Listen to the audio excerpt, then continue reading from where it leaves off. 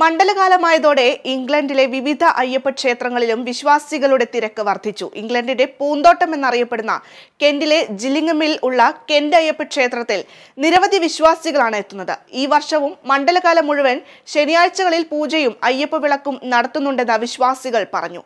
ബ്രിസ്റ്റോളിൽ നിന്നുള്ള വെങ്കടേഷ് സ്വാമിയാണ് പൂജകൾക്ക് മുഖ്യ കാർമ്മികത്വം വഹിക്കുന്നത്.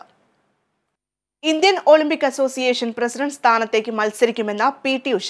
Olympic association president ഉൾപ്പെടെയുള്ള എക്സിക്യൂട്ടീവ് കൗൺസിൽ അംഗങ്ങളെ തെരഞ്ഞെടുക്കുന്നതിനുള്ള വിജ്ഞാപനം പുറപ്പെടുവിച്ചതിന് പിന്നാലെയാണ് നാമനിർദ്ദേശ പത്രിക നൽകുമെന്ന് പി ടി ഉഷ തന്റെ ഫേസ്ബുക്ക് പേജിലൂടെ അറിയിച്ചിട്ടുള്ളത്.